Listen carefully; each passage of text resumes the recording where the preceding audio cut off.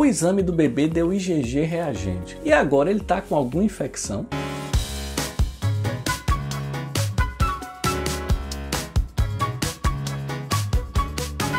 Essa é uma das perguntas que eu mais recebo aqui no YouTube. Alguém fez exame do seu bebê e dá resultado reagente em qualquer exame sorológico, né?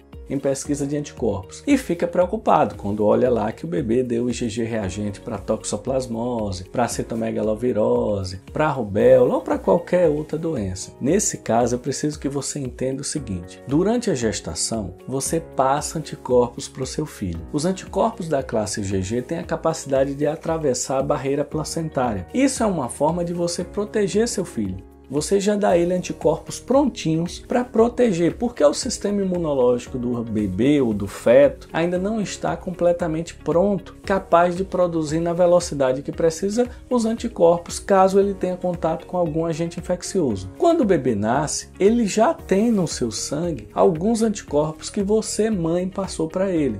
Geralmente, para as doenças que você tem maior produção de anticorpos, esses anticorpos de memória atravessam a placenta e vão estar tá lá circulando no sangue do bebê por algum tempo. E por outro lado, Durante a amamentação, você também passa algumas poucas células e anticorpos para o seu bebê. Então, qualquer anticorpo da classe IgG que você tenha feito teste antes e que deu positivo, é esperado que, se o teste for feito no bebê, dê positivo também. Se for detectado qualquer anticorpo da classe IgG contra qualquer agente infeccioso no recém-nascido, a gente não tem como saber se foi ele que produziu ou se foi GG que você passou, ou que ele adquiriu durante a amamentação, ou anticorpos IgA que ele obteve também durante a amamentação, a gente não tem como saber. E fica por um tempo esses anticorpos IgG. O importante é, se o exame detecta anticorpos da classe IgM, aí a gente tem que analisar com cautela, porque provavelmente foi o bebê que já produziu. Então ele pode ter tido contato com o agente infeccioso. Mas se você fez exame no seu bebê só por pura preocupação e deu um anticorpos IgG reagentes contra qualquer agente infeccioso que você tenha IgG, é bastante provável que seja o IgG que você passou para ele. Fique tranquila, leve para seu médico interpretar para que ele analise o contexto e você não tenha maiores surpresas.